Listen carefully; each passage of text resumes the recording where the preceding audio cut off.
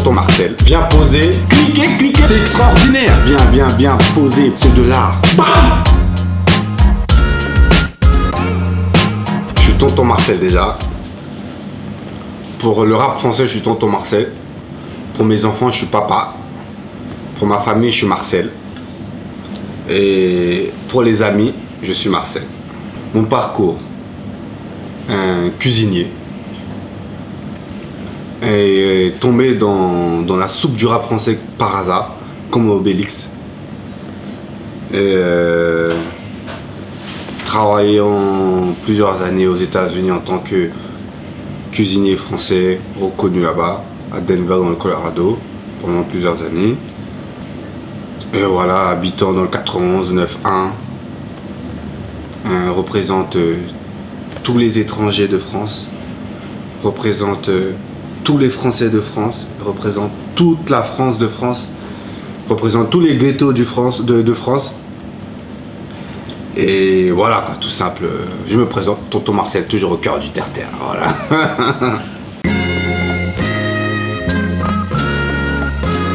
Moi, je suis arrivé en France quand j'avais. Euh, quel âge? Ouais, 8 ans. En 87, je suis arrivé en France. Je me souviens encore quand j'ai bu le premier café euh, dans l'avion, le premier chocolat au lait. J'étais, euh, je sortais, revenu du Mont Bled, alors que pourtant en Côte d'Ivoire, ma famille, ils de l'argent, tu vois. Oh, je dis un truc de malade, tout ça. J'arrive à l'aéroport, tout ça. Pour moi, je pensais que j'étais encore en Côte d'Ivoire. Je vois une grande vitrine. On dit, ouais, choisissez, il est où votre oncle, votre père? Et je vois plein de blancs. Je dis, oh putain, je suis où là? Je suis, chez les sauvages là Non, truc de malade. J'ai grandi avec tout le rap français. je me souviens, j'avais des cassettes de, de. J'avais des cassettes de Daddy Lorty. J'ai, je regardais, j'écoutais comment s'appelle euh, l'arsenal, qui était la Clica. Un Bomb Attack, qui, avec qui j'écoutais encore. Hmm. Mais je me souviens encore, tu sais, j'ai jamais acheté un seul CD de ma vie dans le rap français, ou que ce soit, que soit dans, le rap, américain. J'ai acheté un seul CD, et je me souviens exactement, c'était en 1992, quand la Côte d'Ivoire a gagné la Coupe d'Afrique des Nations sur France 2, c'était retransmis sur France 2. J'avais à quel âge? J'avais quel âge à cette époque? Je devais avoir entre 13 ans et demi, 14 ans. Mon premier CD que j'ai acheté, c'était Satan Pepan. C'était mon premier CD, je suis parti au Carrefour Les Ulysses, les Ulysses 2, et j'ai acheté mon, premier CD parce que j'étais content, ils avaient gagné, donc j'avais besoin d'écouter la musique. C'était mon premier CD que j'avais acheté. Tu sais, c'est une histoire généralement que je, que je dis pas, mais je te la dire. En fait, euh, je suis parti travailler aux États-Unis parce que j'étais amoureux d'une fille ici en France et j'ai eu un gros chagrin d'amour. Quand elle m'a quitté, je voulais plus jamais la revoir.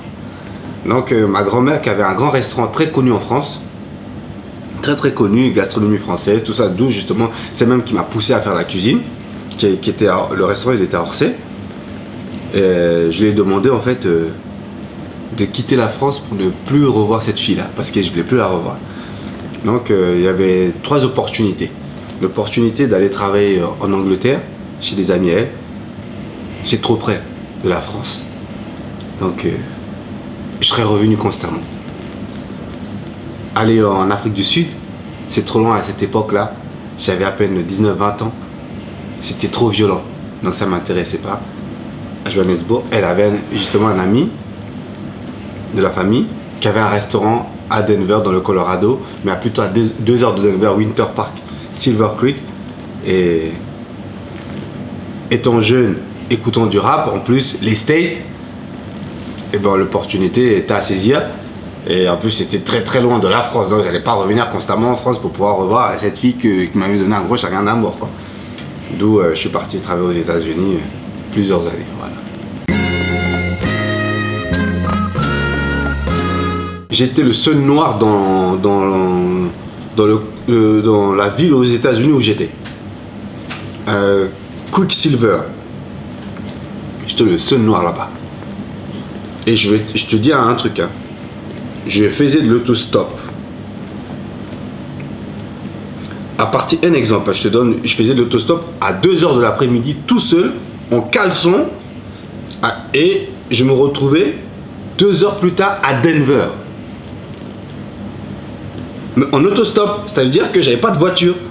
Et les gens me prenaient, j'étais le seul noir dans la ville. C'est un truc de malade. je parlais pas anglais à cette époque quand je faisais l'autostop. Non, mais c'est hallucinant. En tout cas, un grand respect aux Américains. Un big up à eux. Le salaire. On s'est pas entendu justement avec mon, mon boss aux États-Unis là-bas avec le salaire. Et donc, euh, je suis revenu. Voilà. Le salaire. Je ne vais pas dire plus sur le salaire, mais et en fait, je gagnais déjà beaucoup. Mais parce que en fait, le, désavantage aux États-Unis, c'est que quand tu es un Américain, tu gagnes plus que les étrangers. Et donc, euh, ça me. En tout cas, un grand respect parce que justement, ils voulaient que je revienne travailler euh, à Hawaï.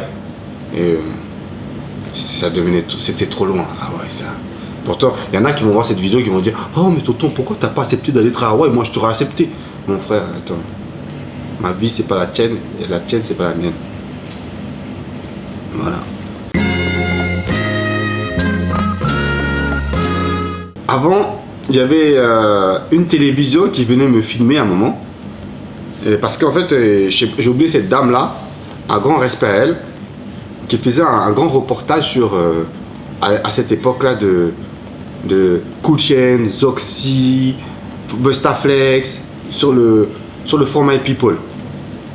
Et cette dame-là, elle avait, comment s'appelle, euh, fait un reportage sur, euh, à cette époque, les gens qui n'avaient pas de papier.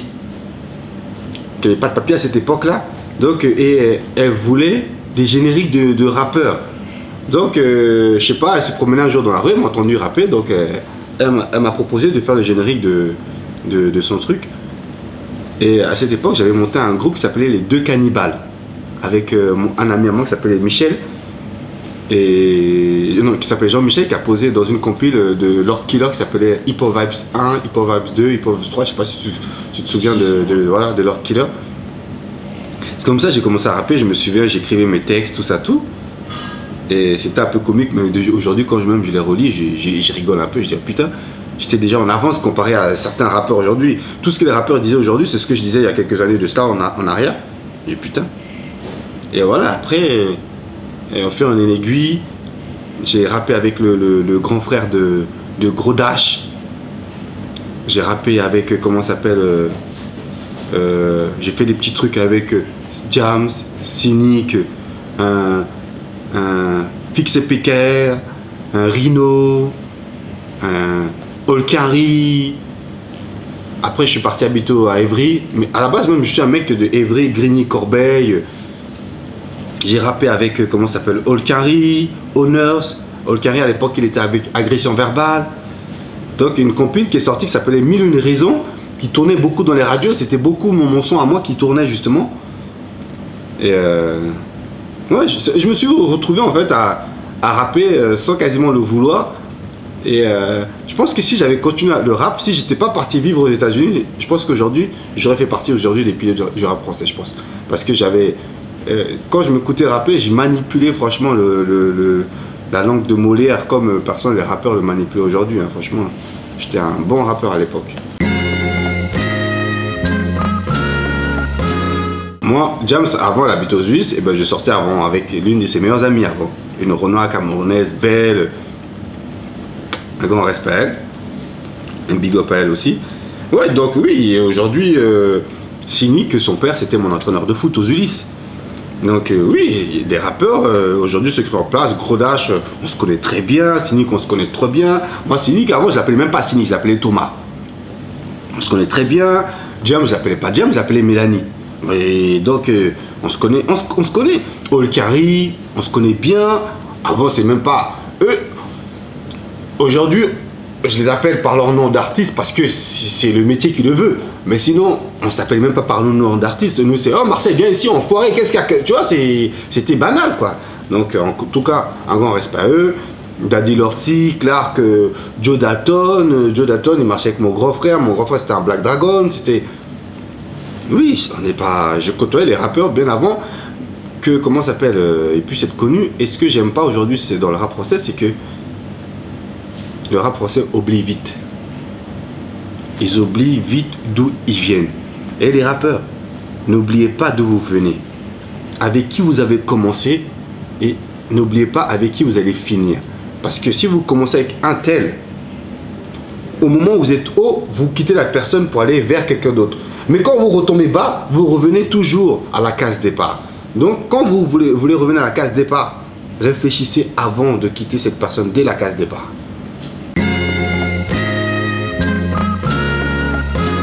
Non, j'ai pas décidé d'arrêter le rap, c'est qu'en fait, euh, il fallait nourrir son ventre. Donc il fallait un vrai métier dans la main. Le rap, oui, c'est bien, c'est un loisir. Mais quand je vais faire des enfants plus tard, j'en ai aujourd'hui, mais je me disais, quand je vais faire des enfants plus tard, c'est pas avec le rap que je vais le nourrir. Certes, il y a des rappeurs qui nourrissent leurs enfants avec le rap, mais il n'y en a pas beaucoup. Donc, euh, euh, j'ai choisi quelque chose, il fallait que je choisisse quelque chose, il n'y avait pas de chômage dans l'avenir. La cuisine. J'ai fait un apprentissage, j'ai eu le diplôme et voilà, je suis parti développer mon art ailleurs. Je sais pas, mais j'ai tout. La preuve, je ne suis plus rappeur, mais je suis toujours dans le rap. Mais sous une autre facette.